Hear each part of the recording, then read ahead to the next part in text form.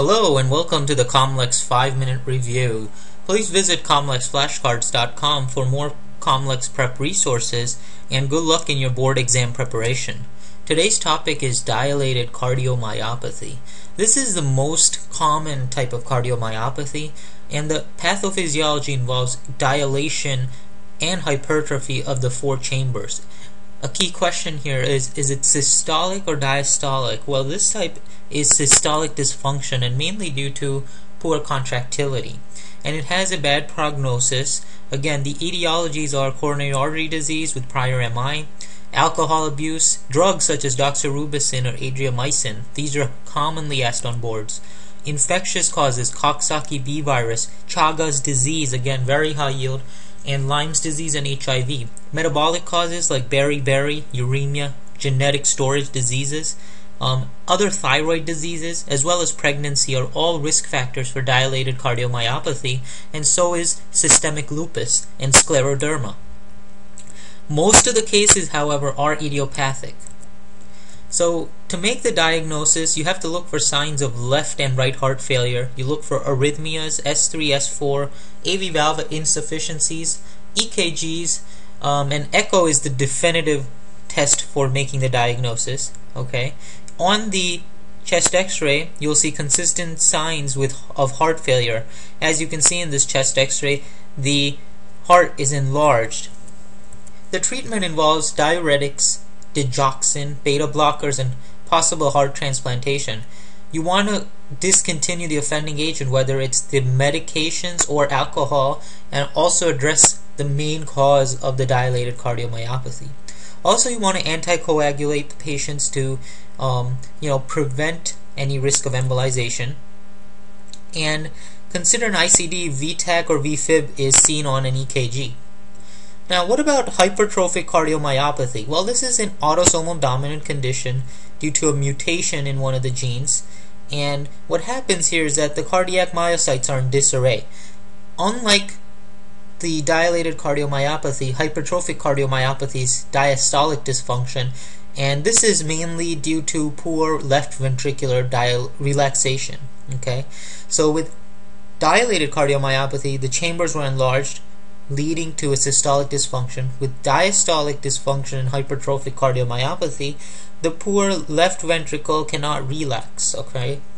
Um, there's also dynamic outflow obstruction with asymptomatic hypertrophy of the interventricular septum. And so that's the pathophysiology here. As you can see in this diagram, the interventricular septum is hypertrophied. Okay. Now, what are the signs and symptoms? Um, you know, the usual signs of syncope, dyspnea on exertion, angina, palpitations, arrhythmias, sudden cardiac death, loud S4, strong apical impulse, systolic ejection murmur. Again, you don't have a click here because the valve is not involved. Um, murmur decreases with increased preload or afterload, and its decreased contractility increases with Valsalva and standing. Here is a board exam point um, that you should remember. Hypertrophic cardiomyopathy increases with Valsalva and standing. Okay. To make the diagnosis, there's several things you'd want to look for. Again, definitive is echo. Um, you can do a myocardial biopsy um, for diagnosing it, but the first test you would get is the echo, and also family history would help you. Um, and here's a picture of the echo showing the hypertrophy septum. What about the treatment? Well, here what you're trying to do is avoid any kind of excessive strenuous exercise uh, because the left ventricle is having problem with the relaxation. What you do want to use is beta blockers, calcium channel blockers if the patient symptomatic. Um, in some cases, myomectomy has been um, you know received high success rates. Um, also, an ICD may help prevent any abnormal arrhythmias.